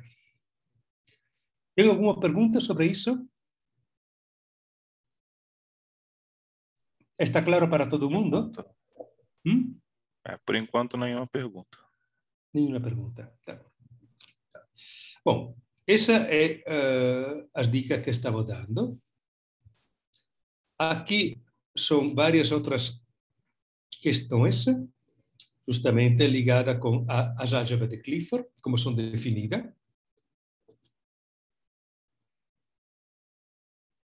Como você pode construir de forma algorítmica as álgebras de Clifford. Os algoritmos, inclusive, podem ser realizados ou representados de forma muito linda, em forma alfabética. As álgebras de Clifford são definidas desta forma, tem esta relação fundamental.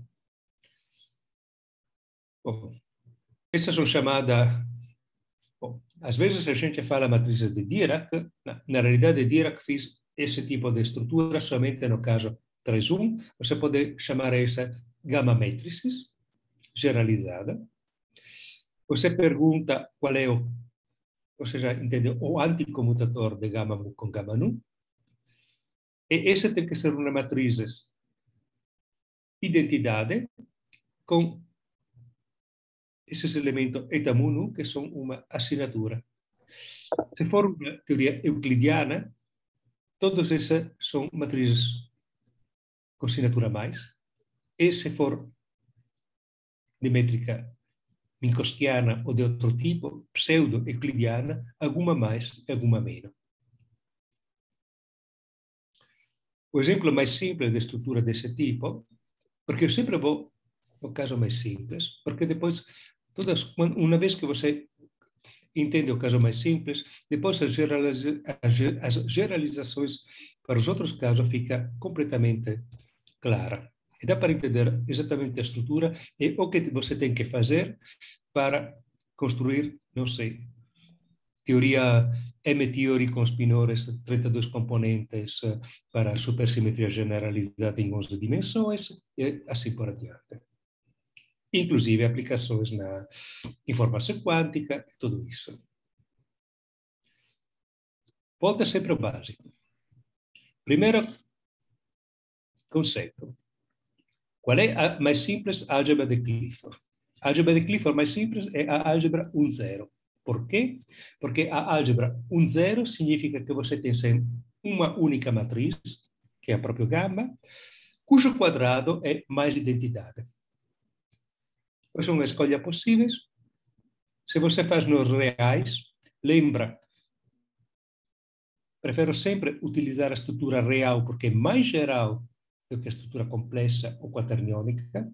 Você pode recuperar complexo quaterniônico usando as matrizes reais, enquanto o contrário você não pode fazer. No caso reais, a escolha é gama mais 1 ou menos 1, o quadrado dele é 1. Essa gama, que é o número 1, representa a álgebra de Clifford 1, 0.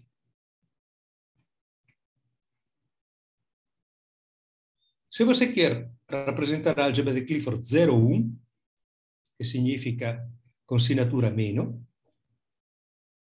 qual é o exemplo mais simples? você tem que ter uma matriz cujo quadrado é menos identidade. Nos reais, você não pode fazer com matriz 1 por 1, você tem que ter no mínimo matrizes 2 por 2. E essa é a solução. Essa é a matriz gama 0, 1. Uma única matriz, matrizes 2 por 2, nos reais. Lembra, ontem nós mostramos, mostrei que uh, você pode representar a unidade imaginária dos números complexos aí como matrizes 2 por 2 desta forma. E isso é exatamente esse tipo de estrutura. Qual é a, a estrutura alfabética da, da álgebra de Clifford? Você pode solucionar todas elas através de um método recursivo. Se você conhece as soluções matriciais para uma estrutura do tipo PQ, P sinais positivo, Q sinais negativo, você pode dobrar esse tipo de estrutura e construir matrizes gama que satisfaz esse tipo de estrutura algébrica. E tem dois algoritmos possíveis, dependendo que são simplesmente ligados com uma troca de sinal. Essas são matrizes que são de tamanho duplo das matrizes originais. Você pode construir, se originalmente tinha P matrizes e Q matrizes, P mais Q, pequena gama, as matrizes grandes são Mais 1 e Q mais 1. Se você troca o sinal daqui para cá, que você faz esse tipo de estrutura, você construi a matriz de álgebra de Clifford, mas com cujo quadrado é trocado.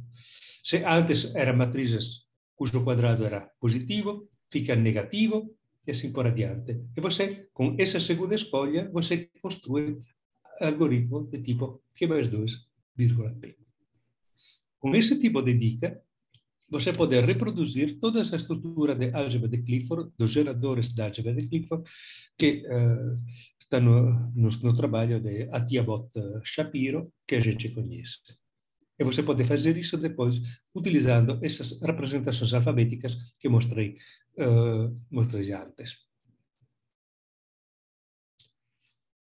O exemplo mais simples desses algoritmos é como, a partir da álgebra mais simples, que é esse elemento 1, aqui, gama igual a 1, você pode construir aplicando, dobrando ele, a álgebra de Clifford, essa álgebra 1, 0, se você droba ele dessa forma, você considera a álgebra de Clifford 2, 1, como é realizada a álgebra de Clifford 2, 1, é realizada desta forma aqui, com dobramento. Quais são essas matrizes? Essas são as três matrizes que realiza a álgebra de Clifford 2.1 e são as três matrizes 2 por 2 que, junto com a identidade, fecha a estrutura do, do split, do split, do split quaternios, como a representação. Tá? Essa é uma base da estrutura alfabética.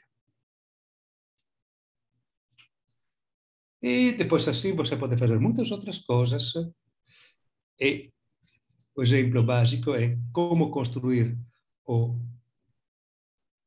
03, que são as três matrizes dos quaternios. Eu já mostrei como fazer com a partir das álgebras de, hum, da estrutura alfabética, como base, 4x4. Essas outras estruturas se pode mostrar, eu não vou mostrar agora como construir a partir dos octônios, 07. E quando você tem todo esse tipo de estrutura, você pode chegar a uma tabela desse tipo. Aqui tem matriz 1 por 1, álgebra de Clifford 1, 0. A partir dessa álgebra de Clifford, você pode, fazendo esse dobramento, construir as matrizes 2 por 2, 4 por 4, 8 por 8, 16 por 16, e assim por adiante, que dobra o tamanho cada vez. E tanto se você faz um algoritmo quanto o segundo, lembra que tem uma troca de sinal, você recupera as matrizes que representam essa estrutura de álgebra de Clifford. Já se você pega os quaternios aqui, e você faz o dobramento, dependendo do sinal, você tem esses dois tipos de estrutura de álgebra de Clifford aqui. Todas elas são nos reais. Esse 8 significa o tamanho da matriz. 8 por 8, 16 por 16, 32 por 32. E depois você pode fazer esse jogo. E esse jogo tem um, embutida uma multiplicidade de 8, que é a multiplicidade de Bob. Dá para fazer um monte de coisas a partir desse tipo de estrutura, com muitas aplicações que são absolutamente não triviais. Isso é um dos jogos que nós estamos fazendo, porque isso é uma estrutura simples, mas você pode ter aplicações sofisticadas. Uma das aplicações sofisticadas que você pode fazer é aplicando as teorias de 2 zeta 2 Mas, como eu falei, tem muito mais. Tem teoria topológica, tem teoria de supersimetria de Wordline, tem aplicação na matéria condensada, aplicação na, na M-theory em 11 dimensões e assim por diante. E aqui, justamente, é o tipo de estrutura que você pode descrever desta forma.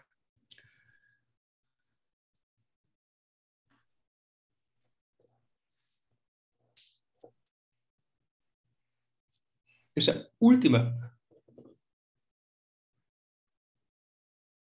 este último conjunto de transparência mostra eh, a questões que é importante por que você pode utilizar essa estrutura para um, considerar tanto os casos reais quanto os casos complexos e quanto os casos quaternônicos.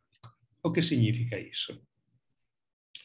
Se você olha na literatura, tem o chamado lema de Schur, que aplicado às álgebras de Clifford, implica como é esse tipo de estrutura. Quando você tem estrutura real, significa que dos geradores gama da álgebra de Clifford, você pode perguntar qual é a matriz mais geral que comuta com todos eles. Se a matriz mais geral for a identidade, ou uma matriz proporcional à identidade, essa é estrutura real. Você não tem nenhum outros elementos complexos quaterniônicos, você pode somente realizar sua estrutura com números reais. Em aplicações físicas, por exemplo, isso acontece com quando aplica nos espinores de Majorana. Espinores de Majorana são definidos espinores reais. Quatro dimensões, três dimensões espaciais, uma temporal, se você utiliza espirale de Majoral, tem uma construção que dá para ser feita a partir da tabela anterior, que são somente de tipo reais de Majoral. Já se tem uma estrutura complexa, significa que você tem, você pergunta qual é a matriz mais geral que comuta com todas as e lá a coisa é interessante que é a seguinte. A matriz mais geral é, tem esse tipo de estrutura. Uma combinação linear da identidade e de uma matriz J que dá a estrutura complexa. J quadrado igual a menos identidade. E o caso quaterniônico é um caso desse tipo. Você pergunta qual é a estrutura mais geral que comuta com todas as matrizes, a matriz mais geral que comuta com todas as matrizes gama, gerador da álgebra de Clifford. E nesse caso, a estrutura mais geral é uma combinação de matrizes quaterniônicas. Você pode demonstrar, tem demonstrações que esses são os únicos três casos possíveis. Todas as álgebras de Clifford e depois os espinores que você define a partir das de Clifford são reais, complexos ou quaterniônicos. Não tem outros casos. É ligado ao quê? As três álgebras divisionais associativas que mostrei na, na transparência anterior. Por que eu falo isso aqui? Porque esses são ingredientes básicos se você quer investigar teorias com gradações, inclusive teorias supersimétricas. Essas são uma ferramenta fundamental para fazer aplicações não triviais desse tipo de estrutura. Aqui dou exemplo mais simples. lembra que eu já falei que a álgebra de Clifford 01 é descrita para uma matriz cujo quadrado é menos identidade. E nos reais, a única matriz cujo quadrado é menos identidade é, tem essa forma aqui. Ou você pode trocar o sinal, botar menos 1 e 1, em lugar de 1 menos 1, mas no final é a mesma coisa. Agora, pergunta: qual é a matriz mais geral que comuta com essas matrizes aqui? E a solução é evidente. A identidade, identidade 2 por 2, comuta com elas. E a matriz A, ela mesma, evidentemente, comuta com ela. A matriz A tem esta estrutura que A quadrado é menos identidade. Significa que essa é estrutura complexa. Ed è per isso che esse tipo di oggetto você pode reduzir porque tem estrutura complexa. A coisa é muito simples, evidentemente nesse caso, é até trivial, mas esse tipo de estrutura você generaliza para os outros casos. A estrutura quaterniônica, eu não vou fazer várias aplicações, eu estou simplesmente botando aqui que você pode construir os quaternios com as matrizes eh, na representações alfabética AX, AY e A. Essas três matrizes que realiza o 03, eles comutam com as brincadeiras do sudoku da representação alfabética. É muito simples ver que comuta com essas palavras de duas letras desse tipo.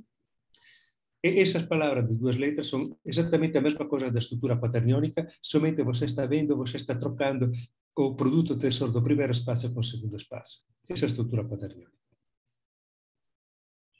Você está já percebendo como você pode conseguir a fazer coisas e eu mencionei anteriormente que os quaternios têm naturalmente uma estrutura de tipo Z2, Z2. Tá? agora tem vários uh, tipos de coisas, mas eu acho que aqui são várias uh, aplicações mais ligadas com a construção de equações de Dirac.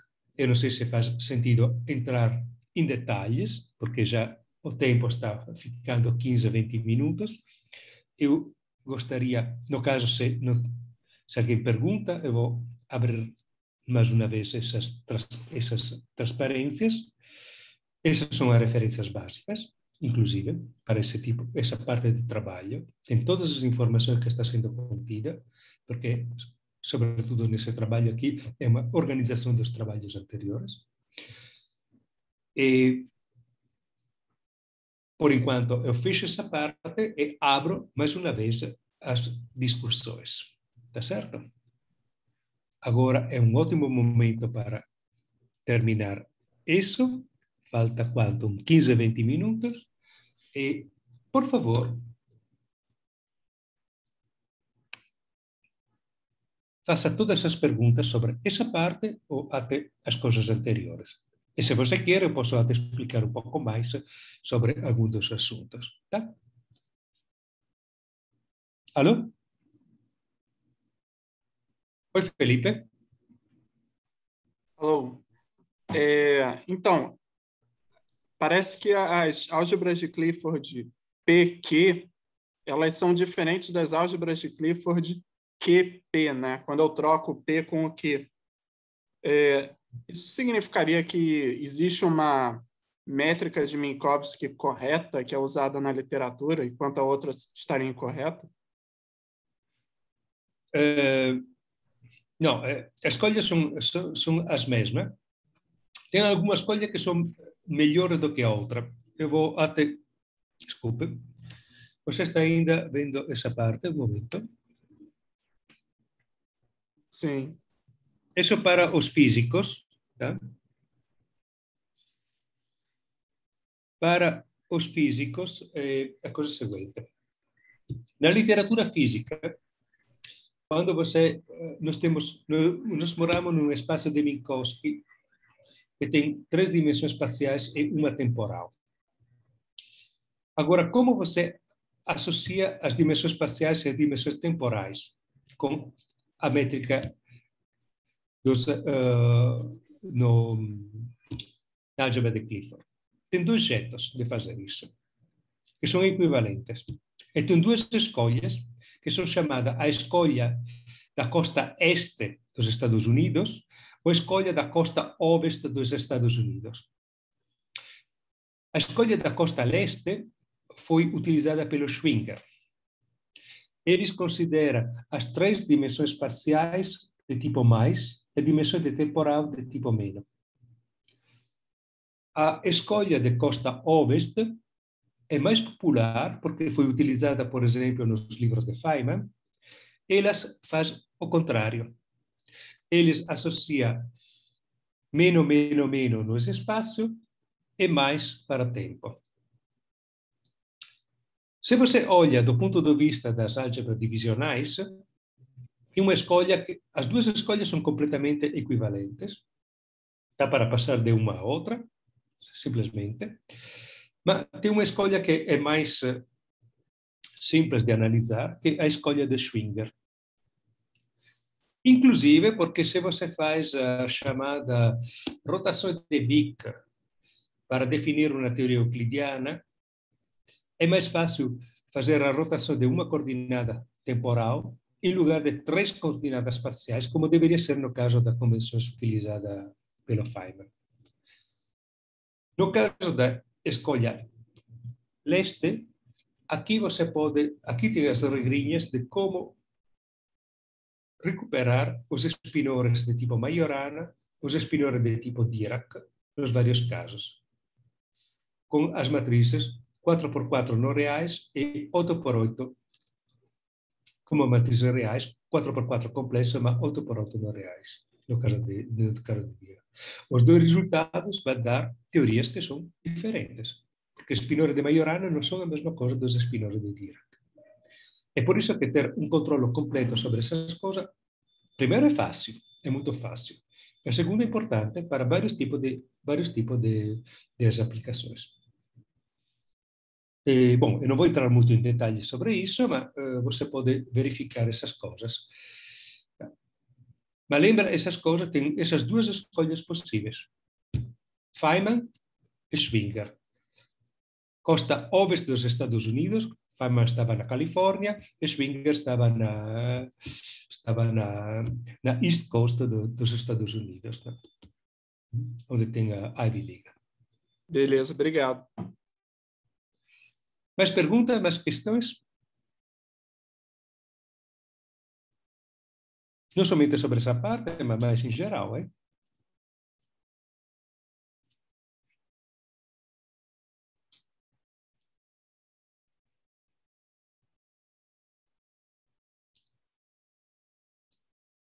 Uh, pergunta, eh, gostaria de saber, está indo tudo normalmente desta forma? Você quer que eh, estou indo de mais devagar? Você prefere que eu vá mais acelerado? Está normal esse tipo de, de rumo como dessa forma? Você me fala.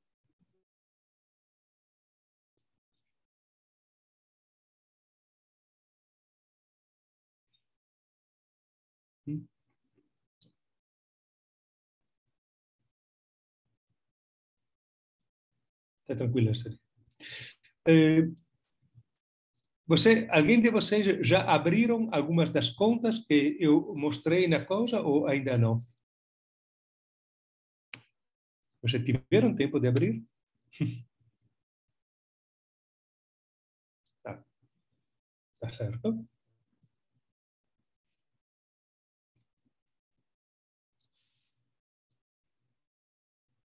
um pouco de outra, tá certo.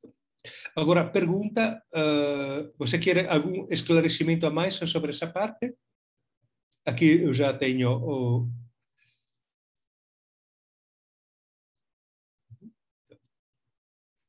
Tem algumas dúvidas, algumas questões sobre o exercício de ontem ou sobre essa parte aqui? Alguns pontos que você quer esclarecer um pouco mais?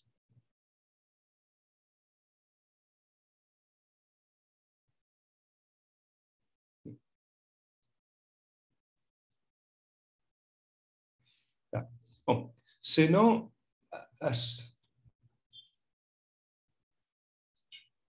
Peraí, tem algumas dúvidas? Você falou, acho que sim. Tem, acho que tem uma pergunta aqui do Ellison.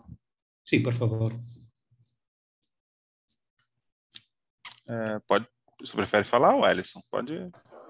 Ah, pode ser. É, é, porque apareceu as duas situações aí no caso dos espinores, né? Majorana seria o real e o complexo de Iraque. E o caso quaterniônico, o que, seria um espinor nesse sentido?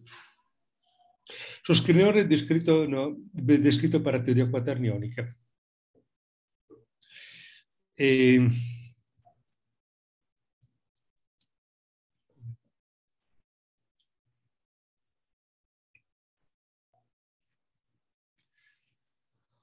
uh, você poderia descrever espinores quaterniônico a partir dessa estrutura aqui. Um 3, um 4. E daria para fazer esse tipo de, esse tipo de descrição. Nos casos dos... Eu vou mostrar, aqui vou mostrar no caso, olhando esse tipo de estrutura, eu vou simplesmente dizer como funciona a coisa. Estou vendo. No caso de Majorana, você tem, uh, aqui são as matrizes do espaço-tempo, 3,2. Nas convenções de, nas convenções de, hum, de Schwinger, você pode pegar três dimensões espaciais e, vamos dizer, uma dimensão temporal. Você não pode utilizar três dimensões espaciais e uma temporal aqui, porque não, não cabe, mas você pode escolher as matrizes aqui dentro. Jogando fora uma das matrizes temporais, você pode descrever o espaço-tempo de Minkowski. E você faz isso com a estrutura de espinores de quatro componentes, que são espinores de Majorana. Isso dá para fazer. Mas se você quer fazer espinore de Dirac, hum, eles têm que ter estrutura complexa. Uh, aqui, essa linha é estrutura real. Não dá para caber uma estrutura complexa, como mostrei antes. Para caber uma estrutura complexa, o que você pode fazer? Você pode ir aqui para frente. Se você joga fora duas das matrizes desse tipo, e aí sim dá para essa estrutura, que aqui também, quaterniônica, também tem estrutura complexa embutida, você pode construir o espinor complexo de Dirac, como quatro componentes complexa ou oito espinores, oito componentes não reais mas que satisfaz a condição de complexidade. Agora, para a teoria de Dirac, a teoria originária que Dirac utilizou nos trabalhos deles, que deram uh, quando solucionou esse tipo de problema, eles utilizou justamente esse tipo de espinore construído desta forma. Foi o Majorana que apontou que tem uma outra escolha que é dada para esse tipo de forma. A pergunta que você está fazendo, dá para fazer estrutura quaterniônica nesse tipo de caso? Sim. Como você pode fazer? A partir dessa estrutura aqui, 4.1. Dá para fazer também, porque aqui também está vendo, bom, é uma visual de, vamos dizer, de Feynman. Você pode ter uma dimensão temporal, quatro espaciais, você joga fora uma das condições espaciais, você tem três, você pode descrever a partir daqui espinores que são quaterniônicos, dois componentes que descrevem a estrutura, a estrutura do corpo. Majorana, Dirac, espinores quaterniônicos. Dá para fazer esse tipo de, desse tipo de, desse tipo de análise. E esse tipo de análise você pode puxar para todos os outros casos que ficam aqui. Já está fisicamente, como é que ficaria a questão dos graus de liberdade? Porque no caso de Majorana, os graus de liberdade são puramente de spin. No caso de Dirac, a gente tem partícula, antipartícula e os dois spins. E no caso do Quaternion, que, que nova informação física, que grau de liberdade que eu estou ganhando aí? Uh, não, não é que você está ganhando o grau de liberdade, você tem uma teoria que é mais restrita. Uh, no caso de Majorana, uh, a teoria as partículas de Majorana são as suas próprias antipartículas. Já no caso de Dirac, você descreve a partícula e antipartículas usando os espinores de Dirac, é por isso que Dirac fez a previsão que a existência do positron como um buraco de energia nos elétrons, tá? porque são distintas. Mas no caso de Majorana, a própria partícula uh, a, a, própria antipartícula, a partícula é a sua própria antipartícula. Análise dos quaternios uma análise parecida com a análise de, Dirac, tá? e dá para fazer esse tipo de, esse análise. Uh, tem também tem um livro sobre quaternionic physics by Adler, tá? Mas você pode esse tipo de estrutura você pode introduzir com espinores quaterniônicos e construir todas as tipos de equações de tipo Dirac em vários espaços-tempo, não somente em, nas nossas, no nosso mundo em quatro dimensões, usando esse tipo de informação e perguntando em quais casos você pode ter um, em quais casos você pode ter término cinético, em quais casos você pode ter termo de massa e assim por adiante. Isso dá para, dá para ser feito, foi feito, e, e tenho, eu posso passar para você as informações, onde achar esse tipo de informação. Muito obrigado. Uhum. Bom, falta quanto? Cinco minutos, tá? Tem alguma perguntas, algum comentários, tá?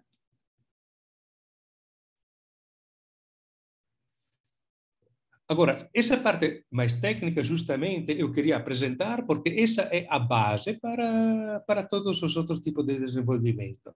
E como você está percebendo, não é uma coisa tanto difícil. Uma vez que você aprende as regras básicas, você pode aplicar em todos os domínios, porque isso entra em qualquer área, campo da física. Isso é coisa importante. E se você controla a estrutura básica delas, você pode fazer um monte de coisas até sofisticada, a partir dessa regra muito simples. Tá? Tá. Se é assim, nós podemos até encerrar a sessão de hoje. Hum? E uh, para amanhã, amanhã vai ter uma parte um pouco mais técnica, que eu quero apresentar também, porque isso é importante, que é ligado com a questão do coproduto e de como construir estado de multipartícula as coisas que eu falei antes, que as coisas que não são ensinadas nos cursos fundamentais, porque nos cursos fundamentais de mecânica quântica você pode, à mão, simetrizar totalmente ou antisimetrizar totalmente o estado de multipartícula, mas a coisa importante é que se você introduz o conceito de álgebra de Hopf de coproduto, você tem uma regra matemática precisa para fazer isso e para generalizar para as várias construções as construções que nós estamos precisando. Está certo?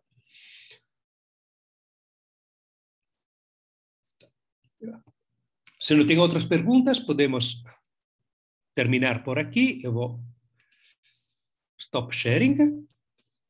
Cosa?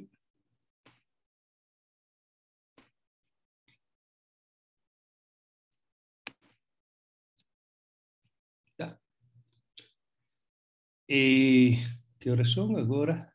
Cinco minutos uh, para seis. Uhum. Está tudo certo? Nós podemos... Uh,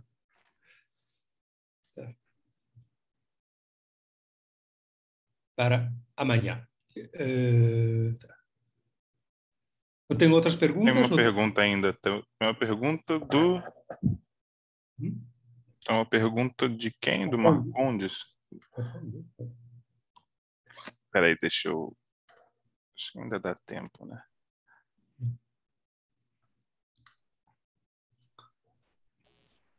Opa, uh, boa tarde, estão me ouvindo? Aham. Uhum. Maravilha. É, a dúvida é a seguinte, é sobre um tópico que o senhor comentou mais, mais para o início da aula, que eu fiquei com aquilo na cabeça e ainda não, não, não meio que não entendi assim, a essência de onde vem a, a, aquela informação. Que foi o seguinte, Ah, Desculpa, lá... eu não sei... Oi. Um momento. Pode repetir, porque eu estava... Tá. Ah, tranquilo. É, a... O senhor tinha comentado umas coisas no início da aula, e eu ainda estou hum. refletindo um pouco sobre aquilo e não entendi ainda, não sinto que entendi de verdade aquela parte, que foi o seguinte. É, quando o senhor estava comentando sobre como ficaria uma, uma é, é, álgebra graduada é, S2, é, Z2, uhum. ao invés de ser Z2, Z2, apenas Z2, com é, é, tendo a menor de todas, tendo apenas dois geradores, um bosônico e um fermiônico, o senhor Sim. tinha comentado que a mais genérica, a álgebra mais genérica possível seria a, a anticomputador, ou, desculpe, comutador H com Q dando é, RQ e anticomutador de Q com Q dando 2SH. Se eu não me engano, é, era isso. Estou tirando de cabeça. É... Minha dúvida é a seguinte: o que está acontecendo aí é algo que está me lembrando um pouco, o, a, a, estrutura algébrica está me lembrando um pouco o que acontece com a, multivetores numa álgebra de Clifford, é, na, na, álgebra de Clifford CL1, CL01. É, por quê? O que está acontecendo?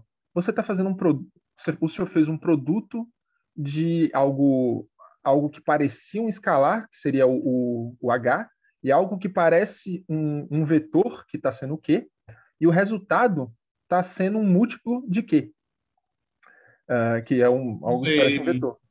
Oi. É, a minha, a minha resposta é a seguinte. Se você pega a álgebra de Clifford 01, você vai encontrar uma das três estruturas. Isso é verdade. A identidade pode ser representada como uh, elemento de grading zero e Isso. o elemento imaginário, a matriz antisimétrica 1 meno 1, como elemento de tipo Q, de tipo Q, uh, com estrutura fermiônica. Mas isso vai dar uma das três casos. Os outros casos são, uh, são representados de outra forma. Mas, isso, isso, é certo. Isso é certo que você fala. Isso é um dos casos. O caso é mais geral porque você faz a análise a partir da estrutura algébrica, solucionando uh, as, as identidades de Jacob gradada. E depois você, justamente como você fala, você consegue realizar de uma forma.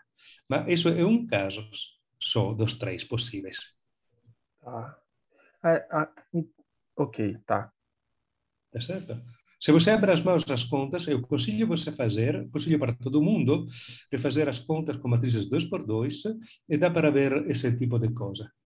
E você pode pegar, por exemplo, tenho no, no, depois de, nos artigos com Jana, nós fizemos os casos das matrizes 4x4. Você pode repassar a conta para matrizes 2x2 que são mais simples e você pode se familiarizar com esse tipo de estrutura. Ok?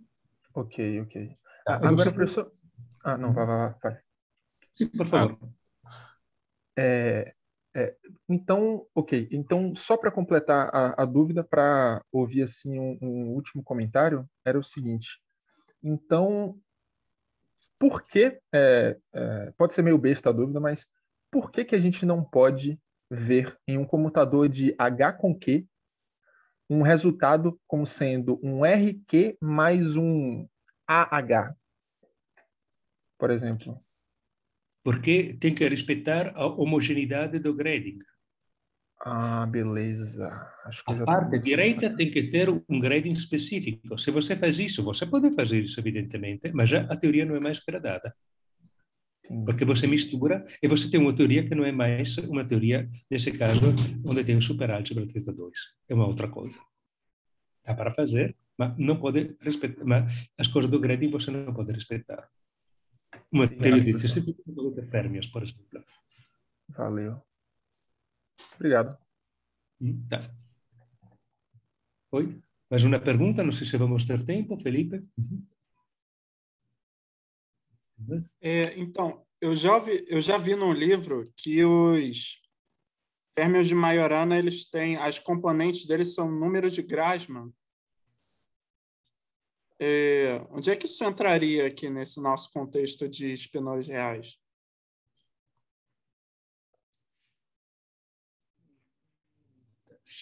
A questão é a seguinte, você... Não, isso é um pouco... Não, isso... Ou seja, os espinores você pode descrever de, de vários jeitos. Agora, os números de Grassmann entra na descrição do, descrição do você tem que, eh, tem que precisar onde você vai definir os objetos. Se os objetos são operadores, pode ser operadores de tipo de tipo Majorana que atuam num espaço, pode ser espinores, que são veturas colunas, tudo isso tem que ser precisado com muito cuidado. O número de Grassmann entra na construção do superespaço que eu falei um pouco antes. Mas tem que ser verdadeiramente um pouco... Todas essas coisas tem que, pode ser feito, mas tem que ser feito com, precisado com muito cuidado, para não misturar conceitos que senão a gente mistura. Beleza, obrigado.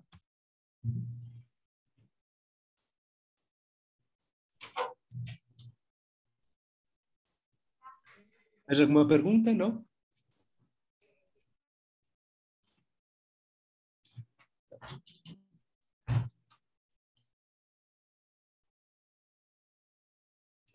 Tá.